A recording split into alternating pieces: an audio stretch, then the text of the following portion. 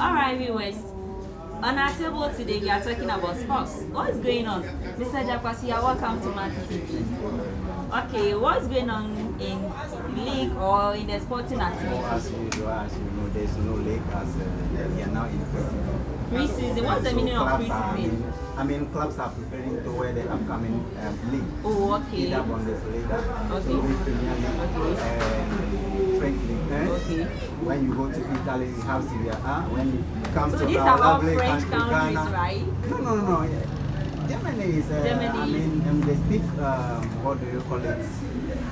German over there. When you come to England, as usual, you know they speak English. okay, when you go to okay. Italy, they, they, they speak Italian over there. All right. So you Ah. mean they are preparing themselves for the upcoming, Upcoming league, league, right? yeah. Oh, okay. So what's your best advice to the footballers? Oh, especially the big clubs. The big clubs. What The likes of? Real Madrid, Man United, Okay. Juventus. In fact, in fact, Juventus have Okay. been a very disappointing Okay. club Okay, so you uh, uh, the clubs out there, just prepare yourself because your opponent is preparing very well to see to it that. And this one is going to Ghana club, Ghana club, especially Hearts and Kotoko.